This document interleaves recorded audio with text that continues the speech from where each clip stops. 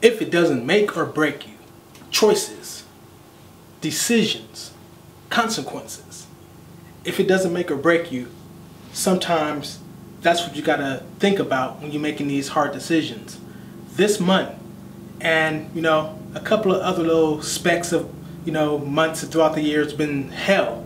You know, this month in particular, November, and a little bit of last month, been kind of hell a little bit. A lot of uh, decision making to do and a lot of stuff. And you know, I decided to go ahead and get on camera and let you guys know some of the things I'm going through and give you guys some of my input on the best way about the best way to make these hard decisions and stuff like that. You know, um, it's been a lot of things I had to I had to go through this uh, month so far, and in the beginning of the middle of last month and stuff like that. Um, I'm gonna start off with, with one of the things uh, right now, and that was when I was first when I had first moved here. You know, from my other place. You know, because I got the same owner. She owns like seven or eight places. So this place opened up. She let us know, and you know, we came in, and bam, and you know, it's a situation that happened where the guy that works on the houses, you know, he works on all our houses or whatever, does the plumbing, does, you know, painting and stuff like that, even though I'm the one that painted this house, but he does all the low, you know, stuff. He's maintenance man. Um, he was having a rough day one day. He came in, went off on me about some stupid stuff, and, you know, I responded back, but not in a rude way, and not in a, not in a bad way whatsoever. And I called her and let her know what was going on. Later on that day, she, me and her uh, met face to face or met, not really face to face like that, but we met or whatever to talk about some stuff. And she ended up going off on me about that situation. And it wasn't even my fault. I didn't even do anything wrong. I'm the one that did the right thing to call her and let her know what he was going off on me about. But, you know, she went off on me talking about I'm pissed off at you and stuff like that. And I'm saying, wait, I'm thinking in my head like, wow, really? Really? And I was like, what did I do? You know, and she, well, you should have you shouldn't even say anything back to him and blah blah blah blah blah. It's like okay, you're going off on the wrong person. No, I'm not because I'm talking to you and da da da da da. And I swear God had a hold on my mouth because you know if this was any other time I would have went off on her. And she already know that and she already knew that because she already had said well you know I realize that you have some growth that that has occurred within you because this was a while back you would have you know been going back and forth with me and I would have you know and it wasn't really growth it was just that the whole point that I don't got time for the nonsense you know you're going off on me I wasn't the cause of anything I'm just going to be quiet and let you be right forget it you know. Just last Sunday my pastor just got done pre preaching about sometimes you got to admit that you, you not admit you got to say that you're wrong even though you're not the one that's wrong. And if, if that's what it takes for everything to be right even if it doesn't be right even if it's still this person is still on you and still irritated with you still just to have some closure to the whole deal. Instead of going back and forth, one person got to admit that they're wrong. And that's what I, you know, that's pretty much what I did. I didn't say, I didn't say nothing. I just let her chew my ass. And anybody know, you know, you're not going, to, you, this is how, this is my method. And I always say this to people. I got my own little sayings, and I don't say that I don't say it that much online because a lot of people like to steal your phrases and act like they're the one that created it and stuff like that. But this is what I say to people: talk talk to someone as if they're as if they are a mirror when you're looking at yourself in the mirror, you're talking to the mirror, you're getting exactly what you're saying right back at you. So if you're talking to me stupid and sideways and crazy and like you lost your damn mind, that's exactly what you're gonna get back. And that's how I react to people. When people come at me one way, I react exactly how they came at me because I'm like a mirror. Don't get mad at the mirror because the mirror is projecting what you put into it. What you're gonna get mad at the mirror because you're making faces in the mirror and the mirror is making faces back at you. It's your own reflection. Don't get mad at it. But that's how it usually be. But at that point in time, I'm like, no, what? I don't got time for it. Some of my electronic stuff got stolen, you know, from my as far as my computer gear. I don't got time for it. And if I would have went off on her, I would have been kicked out right away within a week of me already being here. So with that said, that's a situation that would have made or break me if I would have snapped on her. Now I wouldn't have been calling her all kind of bitch and all that stuff, but you know the way I, the way I go off, my my words does hurt. Now I mean that's something I gotta admit. My words is worse than me sucking me in the mouth. But um, you know, if you take me there, which is it's hard to take me there. Cause I'm easy. I mean, how could you? I'm super easy. But anyways, that said, that's a situation that will make or break me friendships. Sometimes you're going through school and stuff like that, and you got these homies and stuff. You got the people that's popular in school, but they want you, and they hanging out with you, and they want you to hit the joint. They want you to smoke the cigarette. They want you to hit this alcohol. They want you to, you know, you know, do some something stupid, steal some stuff from the store. You know, you got the you got the females hanging out that you want to be cool with the other females. They want you to steal this purse. They want you to, you know, get this number from this from this older guy that, that y'all got no business talking to, you know. And they look at you, they downgrade you and talk stuff to you if you don't do it.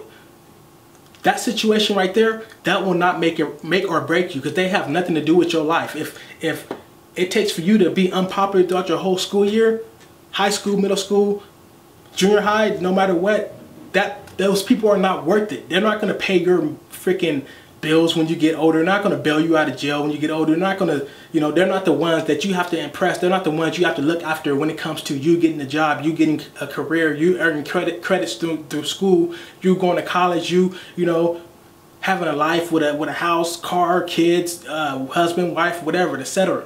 You know, so friends, negative friends, popular but negative fans, fans, friends, they're not worth it. So they will not make or break you. So they can get, they can, you can, bam, sh shabam, get the hell out of my life. You, you, I don't care if you guys look better than me or you, you got a big crowd talking, talking down on me and stuff like that. You have nothing to do with my life. In fact, a lot of people used to talk stuff to me when I was in school and I'm doing way better than them since they're since school is over and, and they were out here doing dumb stuff. Now you don't realize that once you get grown, you got to fend for yourself. And now that you're grown, you don't know shit. You can't survive for yourself, and you have no kind of uh, nothing to show for yourself, and you're looking stupid. Yeah, you were popular through, through high school, smoking this and smoking that, sipping this and sipping that, dipping this and dipping that, and fucking around with this and stealing this and stealing that. Now look at you, you know, and look at me. So it's those situations where you got to choose based upon what you're going through, the lesser evil sometimes. And that in particular topic or example I gave, you are, you understand what's the lesser evil. It's not really a lesser evil when it comes to that. But when it comes to like stuff like friendships and stuff like that, or family members. For example, I got a family member, got a couple of family members and a couple of friends want to be my secretary. They want to do it for free. They don't mind. You know, I was already talking about secretary. As soon as that came out, out of my mouth, everybody, oh, I do it, I do it. Oh, you got to choose me because I'm your family. You got to choose family first when it comes to family, they choose like they feel like they gotta be first because they're family. You know, families first. Blood, blood is thicker than water. You know, and a lot of people mad at me because I want to hire them as my secretary. It's like, okay, you don't even be here. You don't even know what I do. You don't even know exactly how I operate. Even when I'm sitting around talking about what I do and the kind of gear I got and the kind of stuff I'm doing, you're not even listening. You're lazy. You like to sleep all day. You don't even answer your damn phone half the time. How you gonna respond to my clients? How you gonna tell my clients how I operate if you don't even know how I operate? You got to be somebody that know me inside and out. You gotta you gotta be somebody that look at my videos and study it so you can tell my clients when they call, okay, this is how he does his stuff. This is what he just upgraded to. This is how he's trying to do stuff. You know, it's not for show. You know, it's not to be cute and say, oh yeah, I'm a secretary, I work for Emily, and blah, blah, blah, blah, blah. And no, it's nothing about that. It's about, it's about business, it's about seriousness, it's about trying to, you know, do something. So, that was a situation, that was, that was a small situation. So if I hire somebody else besides my family member and all my family members look at me sideways like, yo, you hired this fucking person over family, is that gonna make or break me? No, because they're not gonna be there when I gotta, you know, no, it's not gonna make or break me, you know. Um, because if I if I hire if I don't hire my family members, is that going to mean I'm not going to have a good secretary? No. Is that going to mean I'm not going to make money? No. So it's not going to make or break me. You know, them being mad at me, it's not going to make me. It's not going to make me get anything more. And It is not going to break me either. You know. So yeah, friendships close friendships, relationships, marriages. I'm not going to touch on marriages. That's a whole other ballpark. But close friendships, relationships, and things of that nature. I'm dealing with that too. Might as well put that on blast. I'm not going to really go into detail, but yeah. Um, yeah. And yeah. That's real hard to decide when it's going to make or break you. That's when you got to take into consideration the lesser evil, you know. And uh, it it been a lot of times where I get the finger pointing at me, and this is something I really hate. Like when something happens to me, something's get somebody do something bad to me, as far as a close friendship, relationship, whatever the case may be, you do something bad to me, I confront you over it, and you get mad at me because I'm confronting you of what you did. Think about that for a second. That's redundant. It's like me getting mad at the police because they're being mean to me and roughing me up and putting me inside the uh, police car with handcuffs on and taking me to jail after I just got them robbing a bank. You can't rob a bank and then get mad at the police officer because he's slamming your ass on a car and putting the handcuffs on all tight. Oh, you're being too rough. or whatever, and, and you're trying to turn it around on them. Like, oh, I'm suing you guys because you did this and did that. What about that old lady you just threw down on the ground? What about the gun you was waving around to everybody? You ain't thinking about that. You're thinking about what's happening to you now that you're trying to make yourself to a victim. You know? The other thing I hate is where I don't even have to, but I go out of my way to try to please somebody and try to make a situation correct and it end up backfiring on me. The finger get pointed at me, even though I'm not pointing no finger, but somehow fingers get pointed at me like I'm the big bad wolf and I did something wrong, even though I, I was the one that's just trying to protect myself and trying, and then at the same time, so busy trying to worry about, that's another bad habit I got. I, I'm so busy, I worry about what people feel, I worry about their feelings so damn much to where I put my own self in jeopardy or my own self in harm's way as far as, you know, feelings is concerned, you know, because everybody's feelings get hurt, whether you cry about it, whether you get upset about it, get stressed out about it, wherever the case may be, you you just get, everybody gets hurt. It don't matter if you're a man, female, bodybuilder, you know, don't matter who you are, you know. I'm not talking about, you know, you don't have to be, everybody reacts in a certain way, and I just hated the situations where, okay, well, yeah, something, you did something to me, and but let's move past that. I'm gonna try and, you know, it seemed like I'm the one at BR is trying to fix a situation that was done to me. So it's like you coming to my store or you coming to my house, messing up my whole house. Instead of you cleaning it up because you made a mess, you spilt the drink on the carpet or you spilt wasted chips I'm cleaning it up because you feel, well, it's your house and you should be cleaning it up and, and, you know, I didn't do anything wrong because blah, blah. I know that's a bad example, but it's, you know, stuff like that, you know. Um, if, if, if you got a friendship, you got a relationship, you got to choose the lesser evil. You got to choose, you got to, not really lesser evil, it depends on what you're going through, but if that person, male or female, woman or, woman or child, uh, woman or man, you know, it don't matter. If that person is not if it don't matter who fault it is, but if it's just not going right and it's been months and months and still ain't going right, fuck it.